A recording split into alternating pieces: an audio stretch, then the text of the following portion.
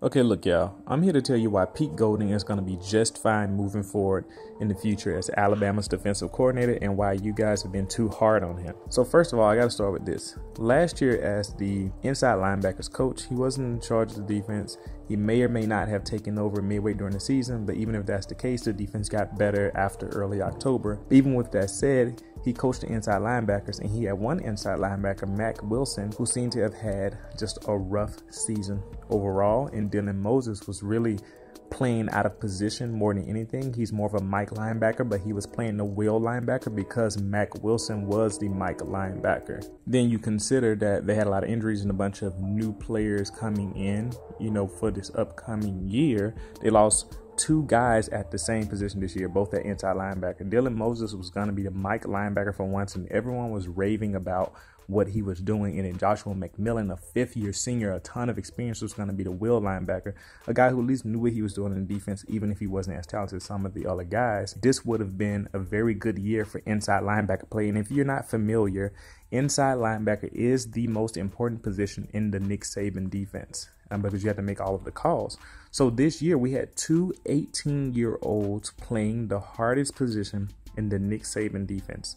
They couldn't rely on experienced players to confirm what they were doing. And this is coming straight from the mouth of Pete Golding himself, you know, in the press conference he did recently. And it was confirming some of the things that I've noticed on film in the games this year is that they have to, the true freshman inside linebackers, have to set the calls. They have to set the front, which is the defense lineman in front of them. They have to set the blitzes. And there was nobody on the field from the linebacker position who would know what to do that can help them not second guess the decisions that they made.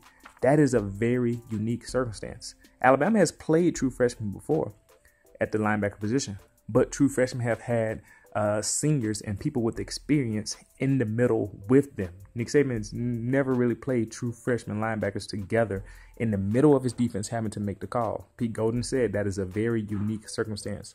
So Golding sought to scheme away opponent advantages and learn to be more thoughtful about not asking his guys to do something that they can't. He expressed that in that press conference for the Citrus Bowl that I'm talking about. Whereas you can tell like they're very smart and they know what to do to stop an offense or they know how they want to attack an offense. But sometimes with these young players, they may not be able to grasp that as well. So he said we're learning how to, you know, adjust accordingly for the players. By, you know, don't want to put too much on those guys.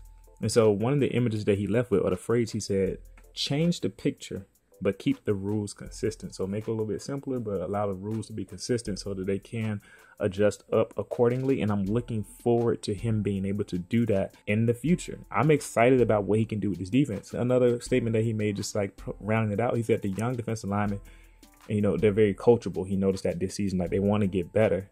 But he said he, you know, with that, they had to learn. He had guys end up in the same gap a lot this year. As a defensive lineman, you got to stay in your gap, whether you're in the C gap, the B gap, the A gap. You have to maintain gap integrity, and they had trouble doing that this year. And you know what happens when you have trouble with gap integrity? You give up runs. And this explains why the running game was so, uh, it was a struggle on defense this year. Well, relative to Alabama because it was still 35th in the nation but they got work to do, you know, in their gap integrity. And the second level guys have to help correct that.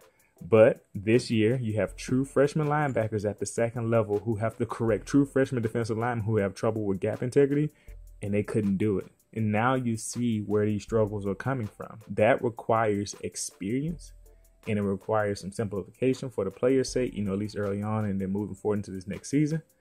But I expect better things moving forward. I don't think Alabama fans are used to having to see progress and the process actually work slowly because they've seen so much success. It's forced you guys to become results oriented rather than process oriented. So, um, my advice is to get back to being process oriented so that you can understand that these things don't just happen overnight. The players have to develop and the coaches have to help them do that. But it takes time and it takes effort, and it's not just on the coach, it's not just on the player. It all comes together. That's all I got to say.